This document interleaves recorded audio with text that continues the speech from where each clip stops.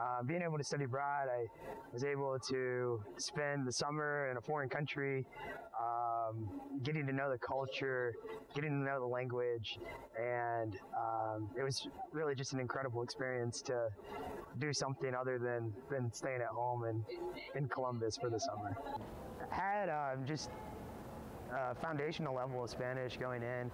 Um, I practiced uh, quite a bit before beforehand, um, before before leaving in the summer. But um, it was kind of a quite a quite a shock when I when I first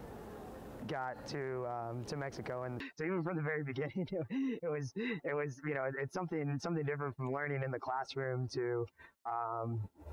to actually eh, speaking it and you know in that in that setting. But so it took me a little while to to even just get adjusted and to understand that you know I'm going to be able to going to be making mistakes and um, it's going to be challenging. Um, and then I would say um,